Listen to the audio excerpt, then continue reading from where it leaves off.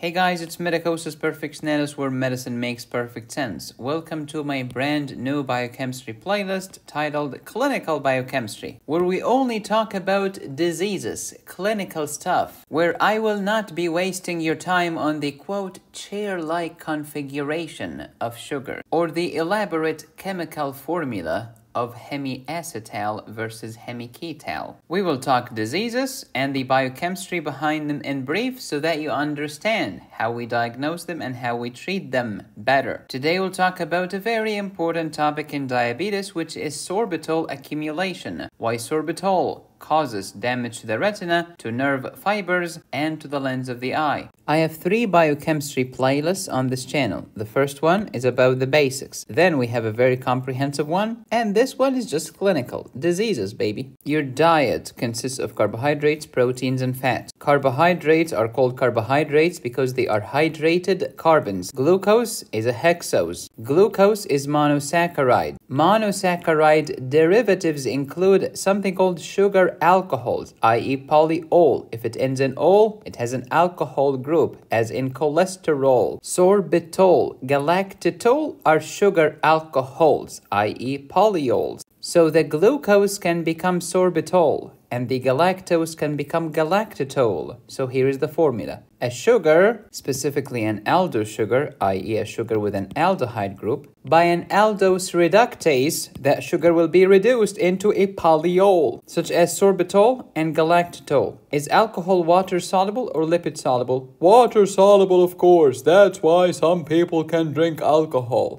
So sorbitol is water soluble. Not only that, it is osmotically active. It can attract water. If I attract water to my normally clear lens, what's going to happen? It will turn from translucent to opaque, and that's called cataract. The most common eye disease, not counting the errors of refraction like astigmatism, myopia, and hypermetropia. Some wisdom time. Diseases in medicine could be type 1 or type 2. You call them type 1 if the problem is in the ligand, and we call them type 2 if the problem is in the receptor. While many non medical professionals criticize doctors for being non creative, we just call it diabetes type 1 and diabetes type 2. Oh, that's just lazy. Doofus, it's about the ligand versus the receptor. It's a very sophisticated way of naming. Look, diabetes is type 1, a problem in the insulin itself. Or type 2, the insulin is fine. It's the receptor that's not working. How about diabetes insipidus? You can call type 1 the central one, which means there is no ADH, and type 2 is the nephrogenic one. There is ADH hormone, it's just the receptor is not working. The kidney is not listening. Same thing could be said about rickets, hemophilia, and others. So whether I have type 1 diabetes, no insulin, or type 2 diabetes, there is some insulin, it's just the receptor is not listening. Insulin resistance, glucose intolerance.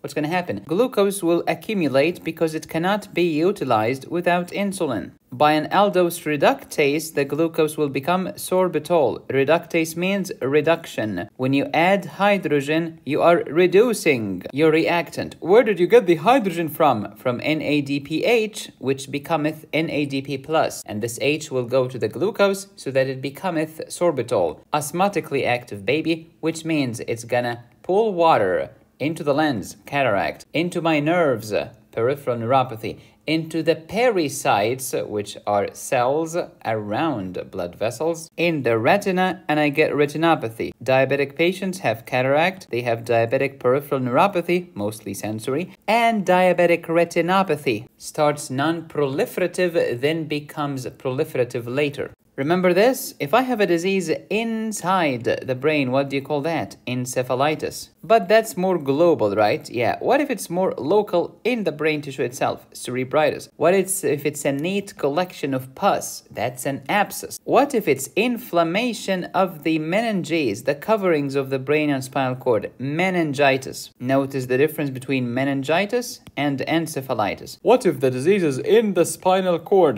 Myelopathy. If it's inflammation myelitis. The word myelo means core. So we call the bone marrow myelo, as in myelophthisis and myelodysplasia, because your bone marrow is in the core of the bone. And we call the spinal cord myelo because the spinal cord is in the core of your vertebral canal, if you remember your anatomy. But what if the problem is in the nerve as it exits the spinal cord? At the root, You call this radiculopathy. But what if the problem is way far from here, like in the peripheral nerve itself? Peripheral neuropathy. Just like what happens in diabetes due to sorbitol accumulation plus other causes. Who else is gonna explain to you like this? Your woke professor with his PowerPoint?